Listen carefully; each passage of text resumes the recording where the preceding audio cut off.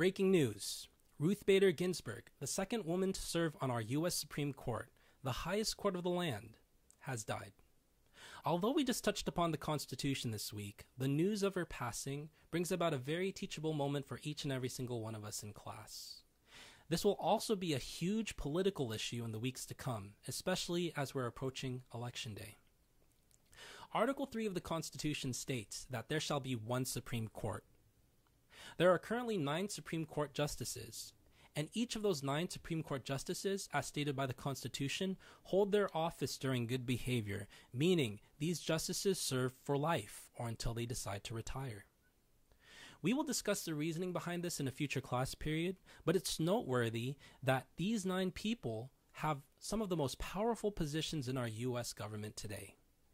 Some may argue more powerful than the role of the president. The Supreme Court decides on controversial cases that end up becoming the supreme law of the land. Cases such as Brown versus Board of Education, which ended segregation, Obergefell versus Hodges, which legalized gay marriage in all 50 states, Roe v. Wade, that made sure women had the right to an abortion, Miranda versus Arizona, to ensure that your rights are being read as you're being detained, have truly shaped our American history, to name a few, and has had a long lasting impact, long lasting impact on our rights and our liberties. Nominating justices involves a vacant seat, a presidential appointment, and confirmation from the Senate. This illustrates the constitutional principle we've just learned about called checks and balances. In 2016, a noteworthy year as Obama was preparing to leave office the following year, a Supreme Court justice, Justice Antonin Scalia, had died. It was then the job of President Obama to fill the seat by nominating somebody and to have the Senate confirm this person so that they can fill the seat successfully.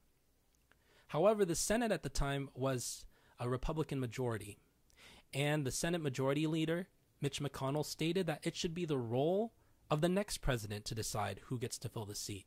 And they decided not to even hear a vote because Obama's term would soon come to an end.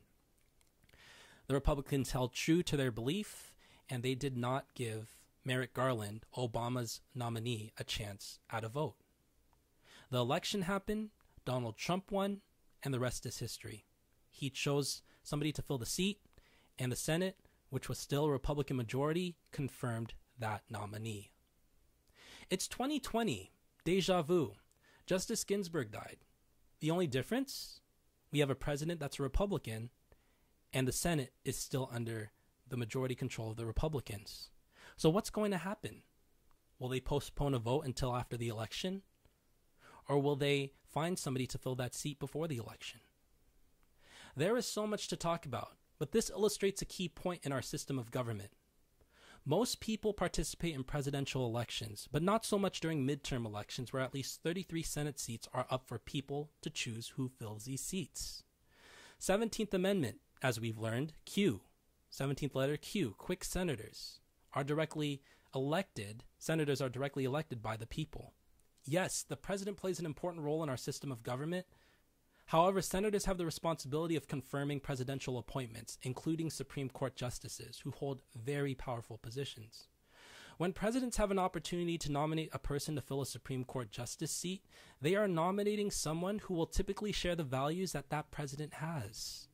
Since presidents serve for a maximum of 8 to 10 years, thanks to the 22nd Amendment, voted in twice, 22nd letter V, and Supreme Court justices serve lifetime appointments, it can be argued that justices hold more powerful positions in our government and that the legacies of presidents will live on through them by way of their shared values.